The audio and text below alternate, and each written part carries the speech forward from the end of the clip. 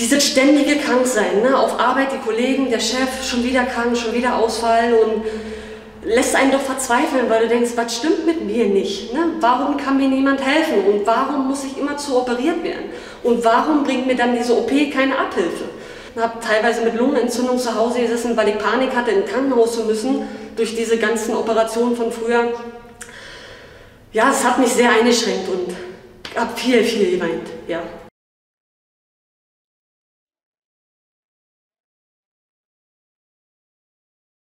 Also ich war gefühlt ständig krank, die Nase war ständig verstopft und gelb mit Schleim, die Lunge war voll mit Schleim. Symptome sind klassisch ständiger chronischer feuchter Husten und eben schlecht hören und die Nase ständig verstopft und dass man auch durch die Nase spricht. Und mir konnte dann über all die Jahre niemand helfen oder, oder, oder sagen, was mir fehlt. Und durch blöden Zufall, mein Mann und ich, wir haben Fernsehen geguckt, da lief bei Vox die Sendung Gut bei Deutschland. Da ist eine Familie nach Spanien ausgewandert und ja, der mittelste Sohn hatte so komische Symptome, die mir so bekannt vorkommen und habe dann anschließend im Internet gelesen und recherchiert über diese Erkrankung, weil sie die auch thematisiert haben bei der Sendung. Ja, alles, was ich gelesen habe, das war ich. Und dann habe ich zugesehen, hier nach Hannover zu kommen, weil hier die Diagnostik vorhanden ist. Und für mich war jetzt einfach klar, ich war jetzt wild ich muss wissen, ist es das oder ist es das nicht? Frau Braun hat eine primäre ziliäre Dyskinesie. Bei der primären ziliären Dyskinesie funktioniert die angeborene Selbstreinigungsfunktion der Atemwege nicht mehr.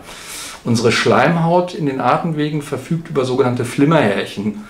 Und zusammen mit dem Bronchialschleim, übrigens auch dem Schleim, der in den Nasennebenhöhlen oder im Mittelohr gebildet wird, sorgen diese Flimmerhärchen dafür, dass sich die ähm, Atemwege selbst reinigen, dadurch, dass sie kontinuierlich 24-7 ähm, das Sekret und alles, was sich darin gesammelt hat, Pollen, Stäube, Viren, Bakterien, zum Ausgang transportieren. Bei der PCD ist, äh, besteht das Problem darin, dass durch eine äh, Strukturstörung im Aufbau dieser Flimmerhärchen der Schlag der Flimmerhärchen entweder gänzlich fehlt oder sehr steif ist. Bei unserer Patientin äh, ist es eher eine ja, etwas diskretere Form der Störung, der Transportstörung, was ja dann auch dazu geführt hat, dass etliche Jahre, Jahrzehnte vergangen sind, ähm, bis die Erkrankung auch diagnostiziert wurde. Bei meinen Besuchen in der MH hier in Hannover, äh, die sind etwa so alle halbe Jahr, bin ich hier zur Verlaufskontrolle und zum Gespräch.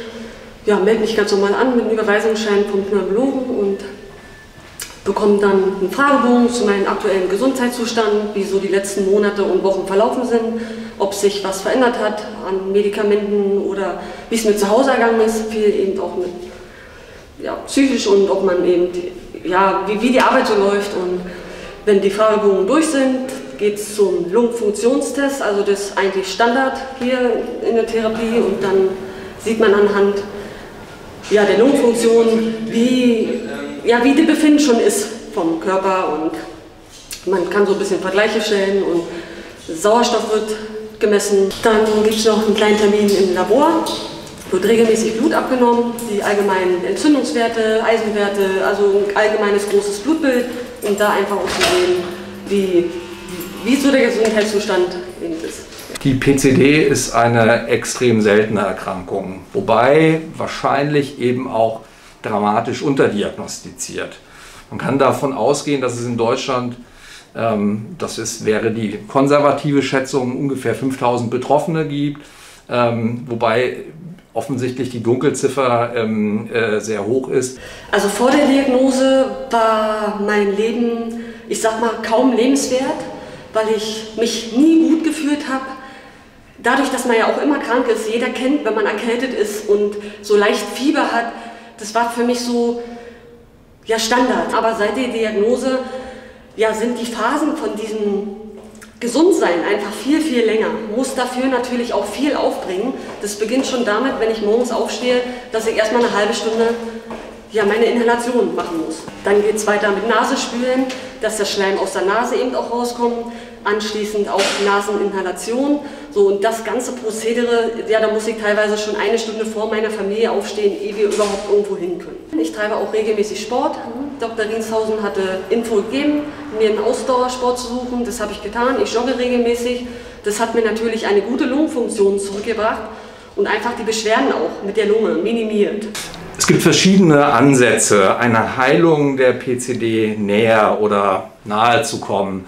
Neben gentherapeutischen Ansätzen, die sich ähm, bei anfänglicher Euphorie in den letzten Jahren eher sehr schwer tun, stehen durchaus auch zelltherapeutische Forschungsansätze ähm, im Mittelpunkt hierbei. Das ist zum Beispiel auch was, woran wir zusammen mit unserer Stammzellforschergruppe im äh, Verbund von äh, Leibniz-Lebau äh, hier auf dem Campus arbeiten oder eben auch ähm, Inhalation von kleinen RNA-Molekülen. Das sind Therapieprinzipien, die für andere angeborene Erkrankungen eben auch schon angewendet werden, zum Beispiel die Mukoviszidose, wo man eben durch das Einbringen kleiner Erbgutfragmente ähm, den Aufbau dieser Flimmerhärchen zumindest vorübergehend normalisieren kann.